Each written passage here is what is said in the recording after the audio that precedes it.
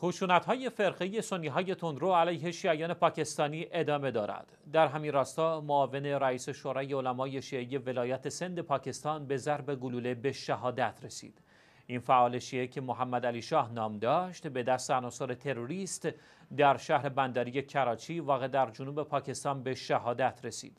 سنی های رو محمد علی شاه را که کارمند یک اداره دولتی بود از ناحیه گردن و سینه هدف اصابت گلوله قرار دادند. هرچند هنوز هیچ گروهی مسئولیت این اقدام تروریست را بر عهده نگرفته است اما برخی فعالان شیعه این ترور را به وهابیون سپاه صحابه نسبت می‌دهند. با وجود اینکه سنی های تندروی سپاه صحابه در فهرست گروه های تروریستی و غیرقانونی پاکستان قرار دارند اما اعضای این گروه همچنان به کشتار شیعیان ادامه می دهند. این در حالی است که شیعیان بارها با برگزاری تظاهرات های مسالمت آمیز از حکومت این کشور خواسته اند تا امنیت آنها را تأمین کند.